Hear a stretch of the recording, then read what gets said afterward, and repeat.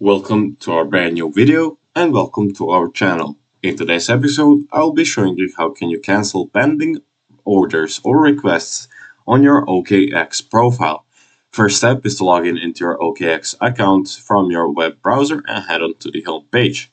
Now on your um, assets page in the top right corner, you will try to find uh, the order center. For me, it's right under analysis. I'll click on order center and now here you will see listed all of your orders, uh, previous orders or concurrent orders that you've made. Now I have of course zero since this is a brand new account that's made to show you an example.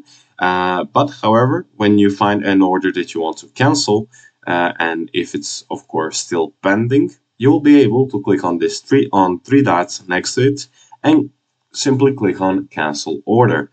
Make sure that the order is still pending and not finished, um, not finished or processed, since up at that point you cannot cancel the order anymore.